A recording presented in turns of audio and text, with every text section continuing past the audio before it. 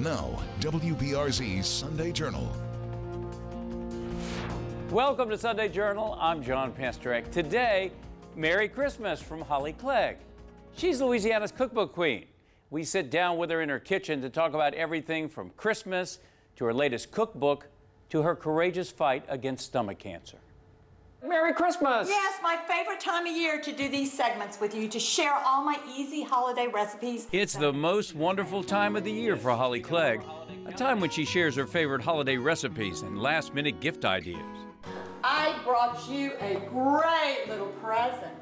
These are so useful. These spiced walnuts, you could use them on salads. Now that's a great idea. a great hostess gift or teacher gift.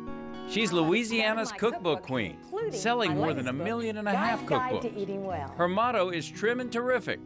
Her book's offering special recipes to help those living with everything from cancer and diabetes to arthritis. The book has all anti-inflammatory recipes, just really easy, healthy recipes. Now she's gone from health promoter to patient. Holly is facing her toughest test, and it's not in the kitchen, it's in the hospital. In August, she was diagnosed with stage 4 stomach cancer. She's undergone multiple rounds of chemotherapy, and now she's facing surgery. But despite a tough year, Holly says Christmas is still the most wonderful time of the year for family, faith, and food.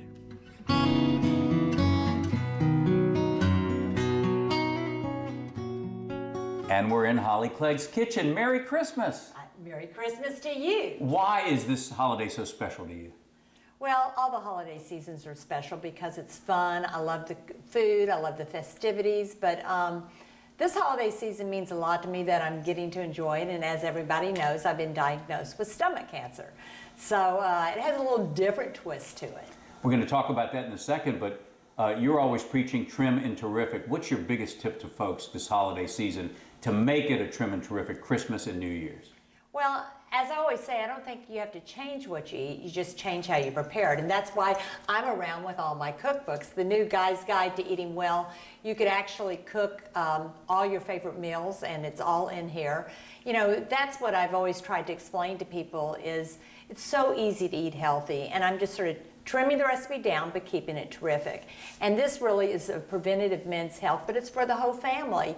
And it's important to, um, we want to be beautiful from the inside out with our food.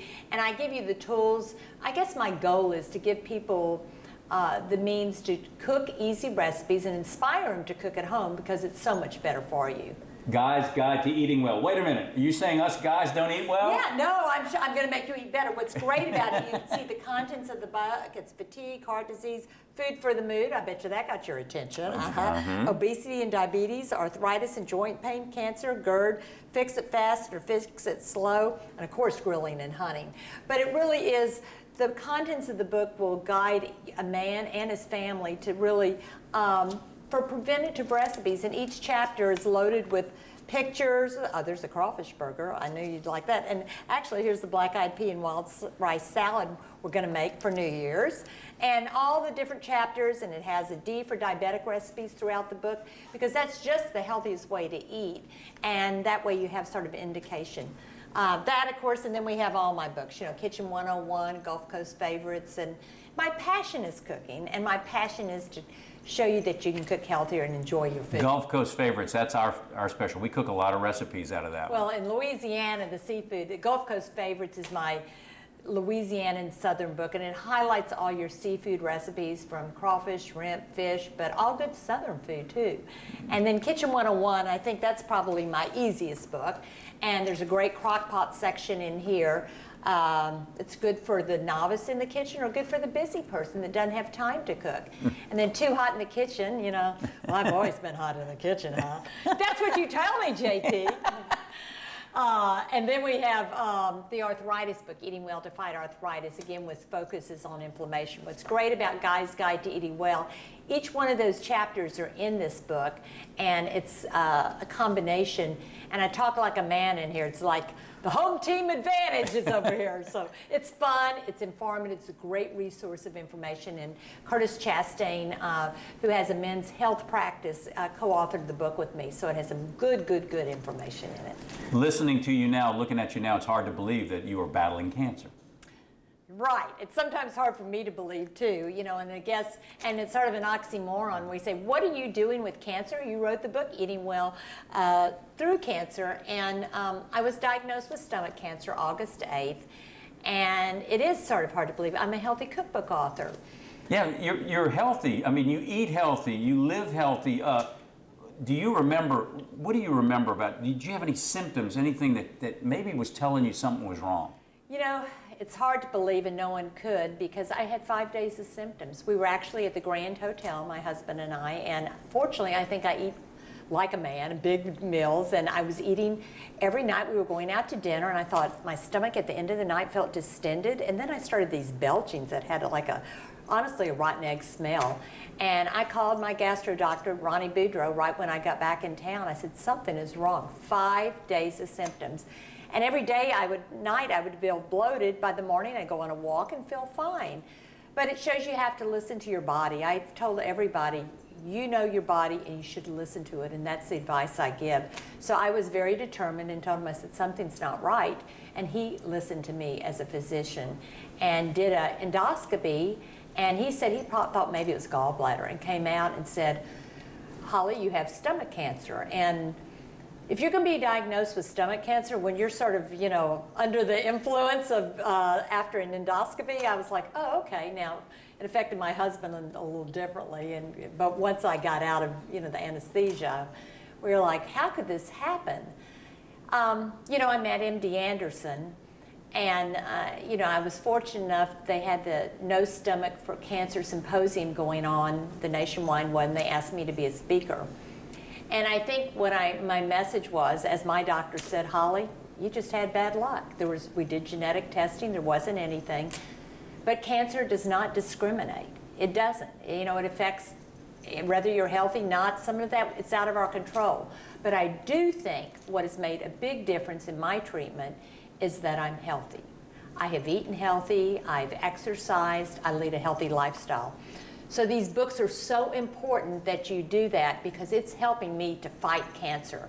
Just finished my round of chemo, uh, four months worth of it, and I'm still here smiling, having a good time. And I do think I battled cancer through chemo because of being a healthy lifestyle. What do they tell you? What's your outlook? Well, I have, uh, I'm December 21st, I have my first surgery. It's a heated HIPEC, it's a heated chemo, and the, if that all goes well, my not if, when that goes well, I will have a complete gastrectomy. And when you all hear about it, understand that's a plus. I made it to the finish line. And you can't eat without a stomach. Um, it's a lot of little small meals. And uh, it's grazing, what we all like to do. Uh-huh. Uh, so, you know, I have a long road ahead of me, but I'm a fighter, and like everybody else there who gets a cancer diagnosis, it's shocking, and you just have to put on those.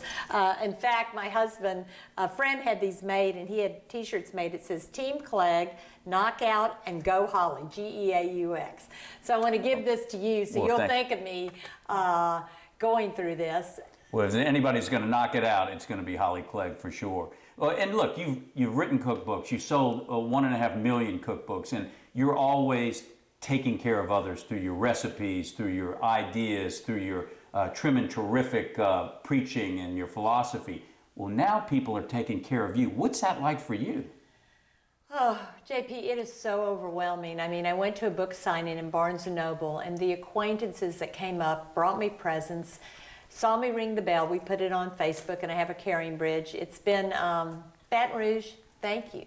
I, I gained so much support from so many people out there just from everything, I don't think I list, I read everything everyone writes. I might not answer, I try to, but um, it's been, uh, I don't think I could have done it. One of the doctors I was telling him at MD Anderson, I was saying, I have this outpour of people from all over the United States, but Baton Rouge is special, of course, and the surrounding areas of Louisiana. And he said, you do gain strength from that. Mm-hmm. so, in fact, sometimes if I, I slap my face and say, Holly, get it together, and I thought, you have way too many people depending on you besides your family. And of course, my husband and family have been wonderful.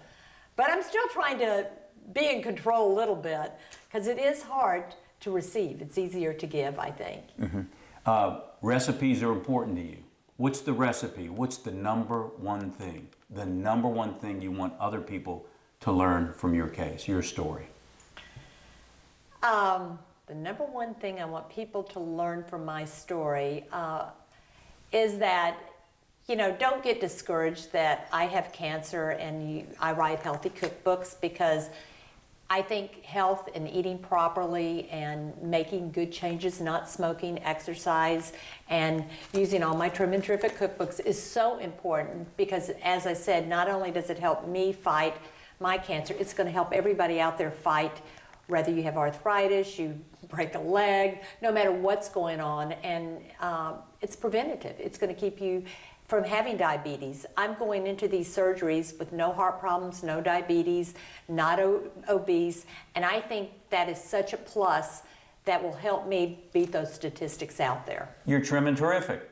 I'm trim and terrific, and I intend to stay that way. Um, where can people get your book? You know that Christmas is coming up, and this new book for, yes, the, for yes. the guy in your life. This could be a great present. It's, you know, you never know what to get a guy, a friend, a, a neighbor, uh, you know, boyfriend, father, uncle, anybody, brother, all of them. But I, I left autographed cookbooks at all the Barnes and Nobles in Baton Rouge. Um, they have signed copies of all my books and you could get it online on my website. You can order directly if you need an autographed copy, and of course, it's on Amazon or Barnes and Noble. But you know, and I've said it to so many people before if you get my book, you have to use it because I'm going to steal it back. It's meant to be used and abused. You know, JP, I love it when people bring me dirty books to sign. I mean, you know, with cooking stains, of course. Boy, you don't want to see my book. I know. What kind of Christmas is it going to be for Holly Clegg? It's going to be a different Christmas. We were going to go to New York to my son's, and since I moved my scheduled surgery to December 21st because they don't like you to be too long between treatment of ending chemo and that, and because I responded so well, so all my family's coming to Houston, and they said we'll find you wherever you are. So all six grandchildren, my kids and their spouses, they rented a house in Houston, and I should be out of the hospital by Christmas, but no matter what, it, it doesn't matter where you are. It matters who you're with, and I'll have all my family around me, and that's what's important. It'll be a Merry Christmas indeed. It will be. It will be. Remember this bit of inspiration that cancer is not a death sentence; it's a life sentence, and the sentence is, "I will beat cancer," and you will beat cancer. You're so right, and I do plan to beat this cancer. It's not an easy road, as anybody knows, but I can do this and I will beat cancer. I got chills hearing that. You're right, it is a life sentence. But that's, that's it's a, your life could always change and you get a new normal. And mm. I have a new normal. Mm-hmm. I will be a survivor. Merry Christmas. Merry Christmas to you too. Well, coming up, Holly shares some last minute Christmas recipes and gift ideas. But first, she's got a special gift for one of you. Merry Christmas. I'm Holly Clegg, and I've got an early Christmas present for one lucky viewer out there. How about a set of my cookbooks, including my latest book, Guy's Guide to Eating Well? All you've got to do is be the first one to correctly answer this Yuletide trivia question. This Louisiana city is famous for its Christmas lights, meat pies, and the Cane River. Name that city. The first viewer to send the correct answer to JP wins my cookbooks. Send your answers to jp at WBRZ.com. That's jp at WBRZ.com. Merry Christmas. Sunday Journal continues right after this.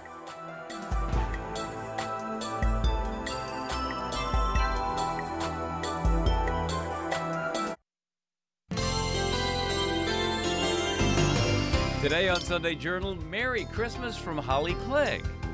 We take you into the Louisiana Cookbook Queen's kitchen for some last minute recipes and gift ideas even Santa would love. Yeah, you know, I'm really excited about this first segment. It's all from my arthritis book. Now, don't turn up your nose. You're thinking arthritis. It's really anti-inflammatory recipes. What's great about them, they're all diabetic delicious diabetic recipes and you would never know. So we're going to start with Let's go. spiced walnuts. Ooh, spiced walnuts. Yeah, that really sounds Christmassy. It is, and you know, this is really one of the most popular recipes on my blog, and I'm thinking, why is it so popular? And I haven't made it in a while, in all honesty. And I made it, and I'm like, Oh my God, it's sugar and spice and a little heat. And It everything nice. And everything nice. That's Okay, what I have here. Okay. okay. Simple to make. You just heat up a tablespoon of uh, oil. We just heated that up, and then we toasted our walnuts, as you saw before, uh, for about 375 for about five minutes. You're gonna put it in here Okay. and then you're just gonna coat, coat them around on the heated foil. And now this is our seasoning. So you just have a tablespoon of sugar, a little garlic powder, and a little salt, a little cumin, a little cayenne, and a little cinnamon. Now, if that doesn't get you going, Cayenne and cinnamon. I like Oh, it. Sweet great. and spicy all at once. sweet and spicy a little heat. Walnuts are high in omega-3 fatty acids, and it's in that chapter in the book. So the book has all anti-inflammatory recipes, just really easy, healthy recipes. We're gonna coat our walnuts with our oil, and you could also use pecans as well. And pecans, I bet you didn't know, have highest antioxidants of any nut Especially Louisiana pecans. especially Louisiana. Uh-huh. Yes, yes, and I've been buying up on those Louisiana pecans for sure. See, we're just gonna toss it together. That's it? That's it, and then you put it on, oh my gosh, I can't wait for you to try these. And we're just gonna let them sit right here on a paper towel, drain off all the oil, and get all that good cinnamon and spice and a little bit of heat. Okay. That cayenne gives it just that perfect amount of kick. All right. That's done. If y'all have been following me, you know I'm an avocado addict. Oh, yeah, absolutely. She, she has av- avocado in everything. and everything. So what about the best guacamole you could ever have? It's Mm. called guacamole. We're gonna kick it up with some Guacamole. yes, with some nutrition. Guacamole. There you go. We're gonna kick it up with it has. Uh, we're going to use soybeans, which are really high in protein and high in fiber, so they're going to make this guacamole guacamole good for you. So we're just going to put everything into our food processor. Okay. There's some soybeans. there's your- avocado. Dump it in there. and salsa is such a quick, easy seasoning. Sort of keeps it festive. Garlic and yogurt. This is Greek yogurt? Greek Oh, yogurt. Give all it that creamy texture and a little lime juice to keep our avocado from turning. Okay, this is the part I like. Uh, I did go for it. What do you do? Right yeah, here? Yeah. Here we yeah. go. You ready? Let's see if it works. Mix it up. Mix it up. Yeah, here we go. We got it going. in the kitchen. Right, right, right, right, right. Okay. That's it. Done. That's it. And this is so good, but we're going to make it all festive. So let's go see how we're serving it. We're going to keep it good for you and healthy. If we look over here, we have red pepper squares and cucumbers to get in the holiday spirit with our guacamole. And then, of course, I brought you a great little present. These are so useful. These spiced walnuts, you could use them on salads. Now, that's a great idea. Last minute gift if you need to give a gift, or are you going to a party and you need a gift? A great hostess gift or teacher gift, but use them on salads. I'm having a dinner party. I'm going to put them on salads. I'll tell you why I love the uh, spicy walnuts or on a cheese tray, like a big crudité. Ooh, that's a great- that's a With great my glazed brie, of course, Mm-hmm. with that. And then carrot cake for dessert. I've been craving carrot cake for sure. So This is a really pretty presentation here. Too. Oh, and this carrot cake is so moist. Uh, you don't even need a mixer. Again, this is from my arthritis cookbook as well. And carrots are good for you, right? Yeah, and you don't even need a fork either to try it, huh? No, you don't. They're a little careful. They're moist, easy to make, and little tip there is buy pre-shredded carrots at the grocery store. Now I know why Santa Claus is coming to town to get some of this carrot cake. Yeah, I love carrot cake. So these are really three great, simple, healthy, diabetic, delicious, anti-inflammatory recipes for your Christmas. Uh, and they're so simple. I mean, I whipped them up in no time. Coming up, you won't be leaving cookies and milk for Santa anymore after you see Holly's recipe for blonde brownies. And for dessert for Santa, Ho, ho, ho. It doesn't get any better than these blonde brownies. It's the combination Blonde of... brownies? Oh, they're so moist. You don't even need a mixer, but brown, sugary, buttery brownies. Oh, my gosh, it's just to die for. That's coming up as Sunday Journal wishes you a Merry Christmas from Holly Clegg. We'll be right back.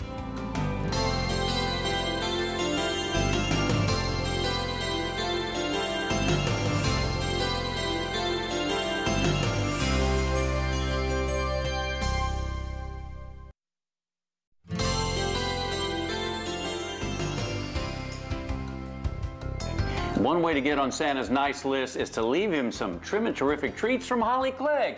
Louisiana's cookbook queen joins us with her holiday countdown. Merry Christmas! Oh, Merry Christmas, and I'm really excited about today's recipes. Well, you know how to get on the jolly old man's good side with this stuff. Oh, I do. But you know what? It's mid December. How hectic are the holidays? Everybody's juggling. So this is my practical segment. You still need dinner on the table, and how many cookie swaps can you be invited to? and you need a really easy cookie to be able to bring. That's festive and fun. But I wait, have it all. easy as a crock during the holidays. Easy as a crock. Well, I turned to Kitchen 101, which has a whole crock pot cooking segment section in it. So I know a lot of people like to do crock pots, and honestly, when I was writing this book, the truth of the matter is, I didn't know if I wanted to include a crock pot section, a slow cooker section. I put it on Facebook, and I had all this response like everybody, yes, yes, yes. So I immediately started testing uh, recipes. So this is sesame chicken we're going to make today, and I thought about this recipe because my kids, grandkids, my husband, everybody loves sesame chicken. It's a number one takeout item, but we can make it in our home. Well, we, so simple. Santa needs to be able to take it out on Christmas Eve. That's right. Okay. So we're going to start. You're just going to. Uh, I like these liners for your crock pots or Yeah, slow it's- it's a neat idea, yeah. Right. So I Eliminate sorry. the mess. And also it transfers easy. Okay. So we're just going to add chicken. Chicken. Right. And then. Any kind of chicken you might like to use? I use the chicken breast, and you want them uh, skinless. You could cut them in pieces now if you're in a hurry and want it to cook a little quicker, or you can do it after. a little bit of onion here. A little bit of onion, ketchup, Ah, we gotta have the ketchup. ketchup, um, and here's a little garlic. Dump in that garlic. and a little uh, crushed red pepper just to add a gotta have some heat, yeah. Yeah, a little olive oil. Okay. And then, of course, I use low sodium soy sauce. Got What's great about this chicken, yeah. recipe, well, we have to get some honey. I'm going to show you a little And you got a though. trick about honey. You know how honey always sticks to everything? So what I do is I coat it with nonstick cooking spray. Now that's a great idea. And then you just put your honey in. It calls for two thirds of a cup. Uh, and I've used local Louisiana honey, of course. All right, and here we go. And then it just comes right out. Look. And along with the ketchup, that's really gonna sweeten things up. Yes, it is. And you know what's great about this recipe? It's diabetic friendly too. You know, a lot of people don't realize eating healthy is not that difficult. This is a diabetic friendly recipe um, that's easy to do. and You ready to cook this family up? friendly. Cook it up. You're going to put it on low for 45 hours. Boom, presto with TV. Then you want to thicken the sauce, so you take this is just water with a little cornstarch. And you always want to add cornstarch to a cold liquid. And then you just mix it, and you would just put it in here, pretend like that's done, put it in there, cook it about 10 minutes, and you're done. Now, here's our sesame chicken. You just garnish it with a little bit of uh, sesame Look at that. seeds. Look how pretty that is. And these are toasted. You can find toasted sesame seeds uh, in the spice section. And my husband said, You're making this with fried rice for dinner when I told him we were having sesame chicken. I said, Of course, darling. Turned to page 97 in my cookbook and we made fried rice. So you have the whole And this is there. a South Louisiana fried rice. Right. I happen to have some Louisiana crawfish, so Ooh, I bet you think that's about good. adding crawfish to different recipes. I added a little Louisiana crawfish to our fried rice. Uh, had it in the freezer. And, And for dessert for Santa, Ho, ho, ho. It doesn't get any better than these blonde brownies. It's the combination Blonde of. brownies. Oh, they're so moist. You don't even need a mixer, but brown, sugary, buttery brownies. Oh my gosh, it's just to die for. You put your little red and green M&Ms and you have the best cookie swap recipe. It's simple to make. You don't need a mixer. You can whip it up with everyday ingredients and you have a festive, fun, brown, sugary, buttery brown. you won't be leaving cookies and milk for Santa anymore. You'll be leaving Right, and blonde look how cute. This is my favorite little spatula. It, it fits perfectly to get bar cookies out of the pan. Give me one of those. Give me one of those. Okay, uh, oh, here, I'll use This my brand. fingers. Look how good. They melt in your mouth goodness. It doesn't get any better than this. You're gonna want this recipe as Tastes well. just like a brownie. So, I have helped you this segment uh, with cooking on everyday recipes. Sesame chicken when you don't have time to cook dinner, and I have the perfect cookie swap recipe just for you. Santa's not gonna wanna leave your house. No, I hope not. Boy, everything tasted great. You know, Holly's new book is called Guy's Guide to Eating Well. For more on the book, along with other great holiday recipes and gift ideas, check out Holly's website. It's easy hollyclegg.com. That's hollyclegg.com. And of course, we wish her all the best in her fight against cancer. I'm John Pastorek. Hope you have a great week, and we'll see you next week on Sunday Journal.